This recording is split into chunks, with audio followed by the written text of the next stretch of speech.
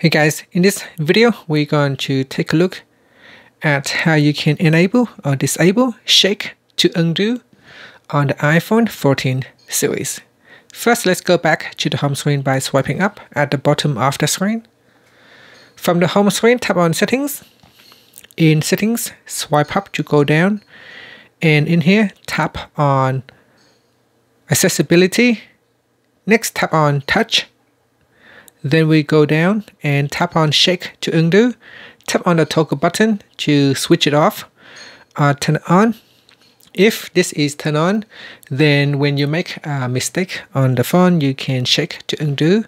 So for example, we, you can undo um, text when you're uh, typing in a notes or any other apps. This is a test. And then if you want to undo it, you can just shake your phone and it said undo typing so tap on undo and you can undo that uh, mistake.